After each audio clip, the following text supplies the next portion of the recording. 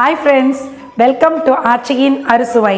இன்றைக்கி நம்ம ஆச்சியின் அறுசுவை சேனலில் கவனரிசி பாயாசம் தான் பார்க்க போகிறோம் கவனரிசிங்கிறது அந்த காலத்தில் மன்னர்கள் மட்டுமே யூஸ் பண்ணிட்டு வந்தாங்களாம். சாமானிய மக்களுக்கு இந்த கவனரிசி கிடைக்கல. ஏன்னா அது வந்து ராஜ அரிசிம்பாங்க.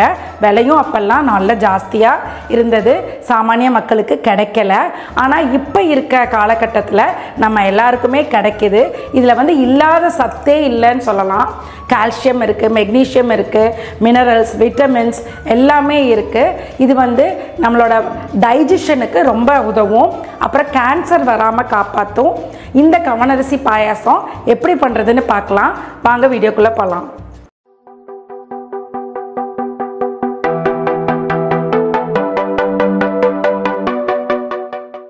இந்த கவனரிசி பாயசம் செய்கிறதுக்கு நம்ம அரை கிளாஸ் கவனரிசி எடுத்திருக்கோம். இந்த கவனரிசியை நல்லா கழுவிட்டு தண்ணி ஊற்றி ஒரு நாலு மணி நேரம் ஊற வச்சிடலாம் இல்லை ஒவ்வொருத்தங்க நைட்டே ஊற வச்சுருவாங்க. காலையில் எழுந்திரிச்சு இதை பண்ணலாம். ஊற ஊற ரொம்ப நல்லது தான் இப்போ நம்ம இந்த கவனரிசியை நல்லா க்ளீன் பண்ணி தண்ணியை ஊற்றி ஊற வச்சுட்டோம்.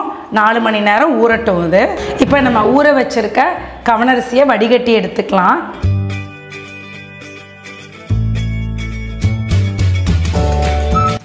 இப்போ இந்த வடிகட்டின தண்ணியை கொட்டிடாதீங்க ஏன்னா இதோட சத்தெல்லாம் இதில் இறங்கி இருக்கும் இதை நம்ம வேக போடும்பொழுது இந்த தண்ணியை நம்ம யூஸ் பண்ணிக்கலாம். இப்போ வடிகட்டின கவனரிசியை நான் சின்ன ஜார் மிக்சியில் போட்டுக்கிறேன்.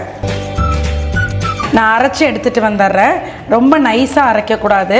ரொம்ப நைஸாக அரைச்சோம் அப்படின்னா பாயாசம் வந்து மாவு மாவாக இருக்கும். ஓரளவு பெருவெருக்கையாக நம்ம அரைச்சிக்கணும். இப்போ அரிசியை நம்ம ஒன்றும் பாதியமாக அரைச்சி எடுத்துகிட்டு வந்துட்டோம். இந்த மாதிரி கோஸாக இருக்கணும். நைஸ் ஆயிடக்கூடாது இப்போ இதை குக்கரில் வேக போட்டுக்கலாம். நம்ம அரை கிளாஸ் அரிசி எடுத்திருந்தோம். அரை கிளாஸ் அரிசிக்கு நம்ம வந்து மூணு டம்ளர் தண்ணி ஊற்ற போகிறோம் தண்ணி ஊற்றும் போது நம்ம ஊற வச்ச தண்ணியை முதல்ல சேர்த்துக்கோங்க.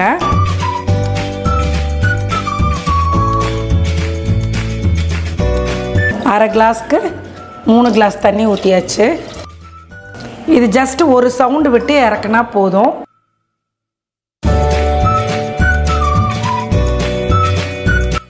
ஆக்சுவலாக இந்த கவனரிசியை வந்து நம்ம குக்கரில் வேக போடவே வேண்டாம். சும்மா பாத்திரத்துலேயே வேக போடலாம். நான் ஈஸியாக இருக்கும். அப்புறம் வந்து டைம் சேவிங் அப்புறம் கேஸ் சேவ் ஆகும். அதனால் இதை குக்கரில் நான் போட்டுட்டேன். இப்போ பாருங்கள் நல்லா வெந்துருச்சு. இப்போது நம்ம இதில் ஒரு டம்ளர் பால் ஆட் பண்ணிக்கலாம். பால் ஆட் பண்ணுறதுக்கு முன்னாடி கொஞ்சமாக தண்ணி ஆட் பண்ணிப்போம். இப்போ இதில் ஒரு கிளாஸ் திக் பால் ஆட் பண்ணுறேன் அடுப்பை ஆன் பண்ணிக்கலாம். மூணு அச்சு வெல்லம் பொடிச்சு வச்சுருக்கிறேன். அதை இதில் சேர்த்துக்கலாம். அரை ஸ்பூன் ஏலக்காய் பொடி. இப்போ இது நல்லா கொதிச்சு வரணும். இது வந்து கவன அரிசி வந்து அரிசிங்கிறதுனால அடி பிடிச்சிடாம கொஞ்சம் நம்ம பப்பை கிண்டி விட்டுக்கணும் இப்போ நல்லா கொதிச்சு வந்துருச்சு. அந்த வெள்ளமெல்லாம் கரைஞ்சி நல்லா அந்த பாயாச பதம் வந்துருச்சு. இப்போது ஒரு சின்ன கப்பளவு தேங்காய் துருவி வச்சுருக்கேன். இதை சேர்த்துக்கலாம். இப்போ இந்த பாயாசத்தில் நம்ம நெய்யை காய வச்சு முந்திரி கிறிஸ்மஸ் பழம் அப்புறம் பாதாம் என்னென்ன நட்ஸ் பிடிக்குமோ அதெல்லாம் சேர்த்துக்கலாம். ஆனால் நான் இதில் இப்போ நட்ஸை சேர்க்கல.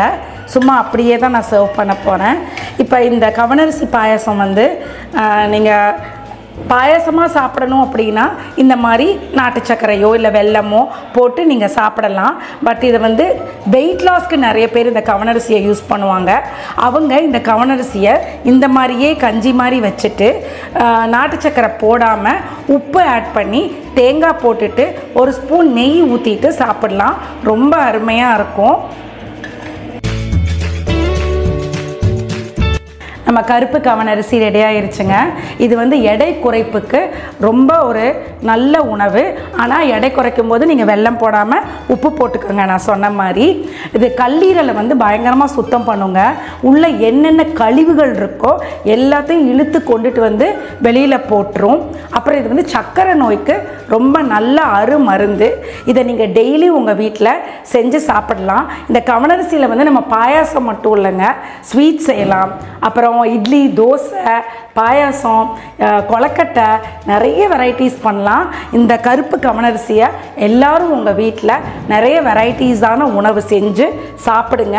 அதோட பயன்கள் எல்லாம் நீங்கள்லாம் அடையணும்னு நான் நினைக்கிறேன். இதே மாதிரி பாயாசமும் ட்ரை பண்ணி பாருங்கள் ட்ரை பண்ணி பார்த்துட்டு உங்கள் கமெண்ட்ஸை எங்களுக்கு சொல்லுங்கள் இதே மாதிரி ஒரு நல்ல வீடியோவோட உங்களை எல்லாம் சந்திக்கிறேன். டில் தென் பாய் ஃப்ரெண்ட்ஸ்